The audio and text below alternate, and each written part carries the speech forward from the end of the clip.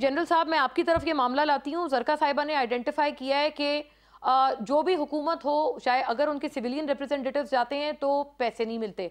और फिर जब कोई आर्म्ड फोर्सेस की तरफ़ से कोई जाता है आर्मी चीफ वगैरह, हर दौर में हमने देखा है कि कुछ वो मामला सही हो जाता है। तो ये एक इम्प्रेशन एज अ होल कोई प्रॉब्लम है कि सियासतदानों की जो अपनी क्रेडिबिलिटी है इन द इंटरनेशनल आए क्या ये उसका प्रॉब्लम है? एक तो इसके, इसका जवाब फरमाइएगा।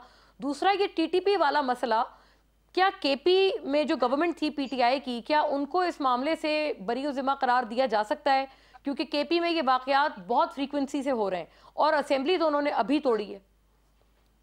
जी, बहुत शुक्रिया। पहली बात का तो ये कि ये बात है तो काबिल अफसोस के गवर्नमेंट के बजाय अगर किसी और इंस्टीट्यूशन के साथ कोई बात बाकी मुल्क जो है वो अपना गुफ्तु करना चाहें।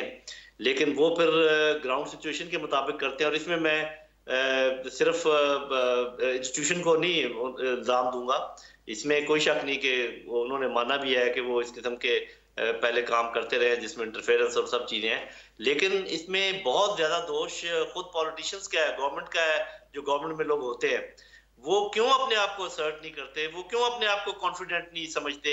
और वो क्यों नहीं खुद बात कर सकते बाहर के मुल्कों से एक छोटी सी बात कि वो क्यों इजाज़त देते हैं कि एक जो वफ्द आता है अमेरिका से वो पहले उनके साथ बात करता है फॉरेन ऑफ़िस में फिर वो जीएचक्यू चला जाता है हम्म। भाई आप कहें कि जीएचक्यू से अगर आपने बात करनी है हम उनको इधर ही बुला लेते हैं आप प्राइम मिनिस्टर की मौजूदगी में बात करें चीफ के साथ हम्म। क्या ये बहुत मुश्किल काम है हम्म।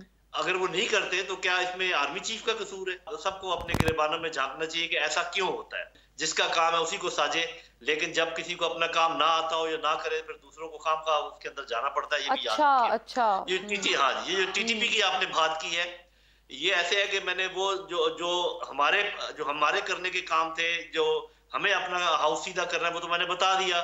इंटरनल जब तक ये आपकी खत्म नहीं होगी, जो अदम इसकाम है, सियासी अदम इसकाम जिसकी वजह से पैदा हुआ है, माशी अदम इसकाम और इसकी वजह से दुश्मनों ने फ़ायदा उठाया और हमारा ये जो प्रॉब्लम हो रहा है सिक्योरिटी का, ये भी इसकी वजह है।